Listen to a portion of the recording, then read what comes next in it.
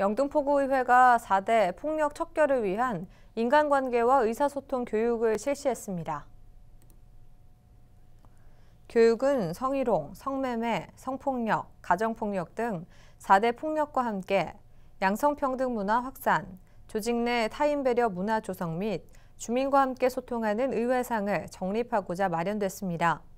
고기판 의장은 좀 더 발전적인 의회의 모습을 보여주기 위해 2021년 새해를 교육으로 시작하게 됐다며 새해에도 국민을 위한 다양한 의정 활동을 통해 신뢰받는 영등포구 의회가 될 수 있도록 최선을 다하겠다고 밝혔습니다.